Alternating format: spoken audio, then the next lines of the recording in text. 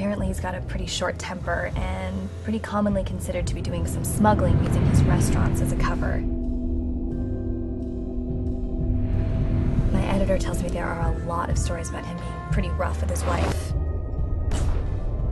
Think Labor's ready to join this Come party? on, Labor.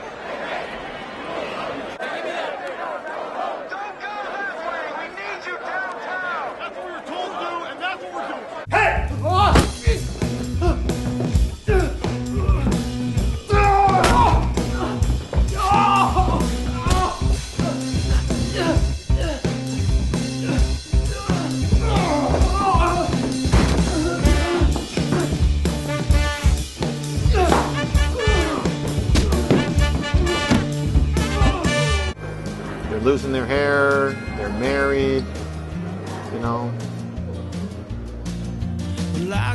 Officer, you're a police officer. Yeah, how did you know that? Oh, right, because you're